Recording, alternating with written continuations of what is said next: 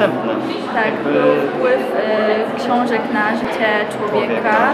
W odniesieniu do lalki Bolesława Prusa, więc czuliśmy się przygotowani, przynajmniej ja. I Tak, bo lalkę bardzo dobrze omówiliśmy, więc to jest taka w sumie lektura najważniejsza, więc było, było dobrze. Inne teksty też były dość łatwe do opracowania, także Analiza wiersza Adama Mickiewicza. tak. Kilka osób też to właśnie wybrało. Który z przedmiotów y, dla Was jakby najtrudniejszy, który jakbyś najbardziej obogacie?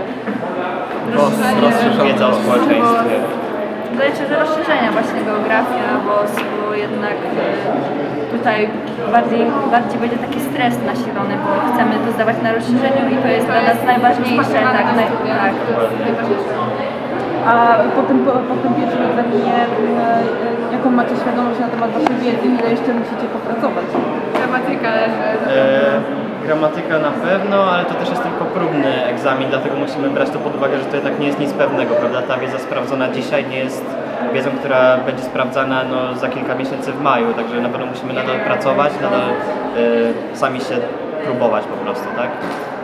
A dużo takich prób mieliście, czy to jest pierwszy taki, taki że już tak wszystko jest jak na egzaminie? Egzamin próbny pierwszy, ale ogólnie mamy takie zadania, na przykład inter- interpretujemy, robimy wypracowania, ale to egzamin próbny taki był pierwszy, prawdziwy, taki Całościowe. tak, Tak. całościowy, także czytanie ze zrozumieniem, interpretacja, wypracowanie, wszystko tak e, razem.